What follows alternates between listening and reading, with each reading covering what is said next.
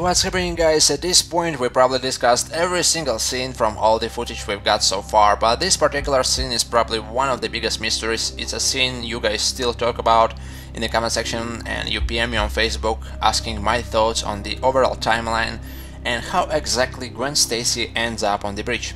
So, by the request, I'm going to answer this popular question and basically give my thoughts on the timeline and how she ends up near the bridge.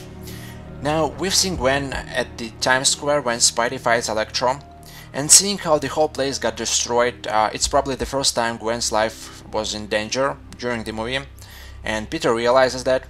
And uh, probably the scene with Peter and Gary already took place some somewhere earlier in the movie, and Peter realized that he's being spied basically by Oscorp during his whole, uh, whole life and uh, the surveillance cameras and now Gwen's life is in danger for the first time and Peter realizes that I want Gwen to be safe. I want her to be safe. He realizes what Captain Stacy told him and uh, basically the next scene is probably the Chinatown scene.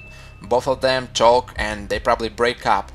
Peter breaks up with Gwen once again in order to keep her safe. Peter tells Gwen that I will handle this alone, I can handle Electro and I can handle the Oscorp and Gwen tells Peter it's bigger than you, just you don't have a chance against Oscorp and Electro. This is bigger than you, Peter. Both of them look quite sad in this set picture, so I'm pretty sure it's a breakup scene. Basically, they break up, and Peter tells Gwen, please stay away, and uh, basically, I want you to be safe.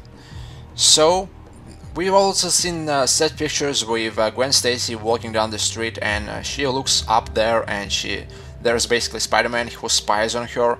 So despite that Peter broke up with Gwen, he still keeps an eye on her. He wants her to be safe, just in case, you know, I will just keep an eye on her. At this point, they split up. They are not in a relationship anymore. Peter wants to stay away from Gwen in order to keep her safe.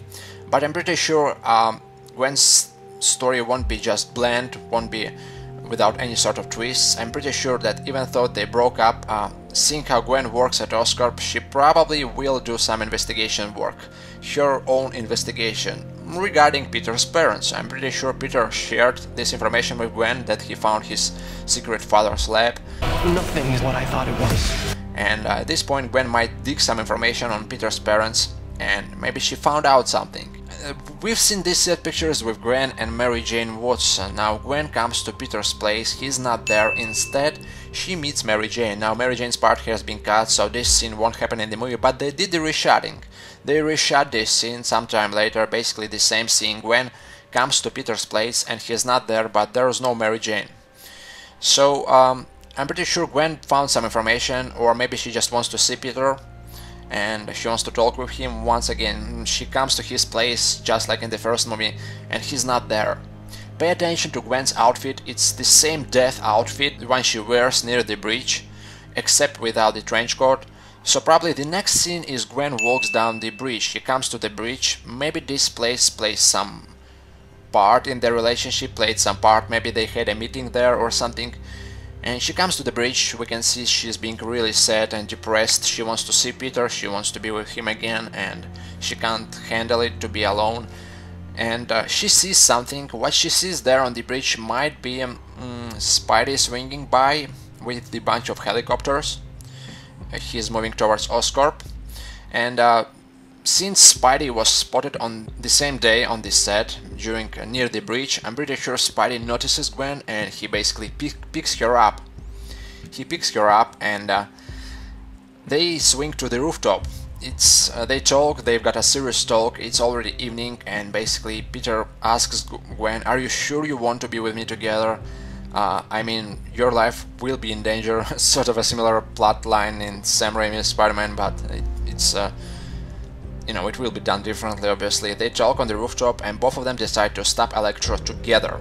And they, they swing to the power plant. They reunite, they are together again, but it's probably a mistake seeing what happens to Gwen, what might happen to Gwen. So that's how Gwen ends up on the bridge. I'm pretty sure she's looking for Peter. They broke up. She wants to see Peter and he's not at his place. She can't find him, she can't contact him. So she comes to the bridge uh, which might be not just a coincidence, maybe this uh, bridge played some part before during the movie.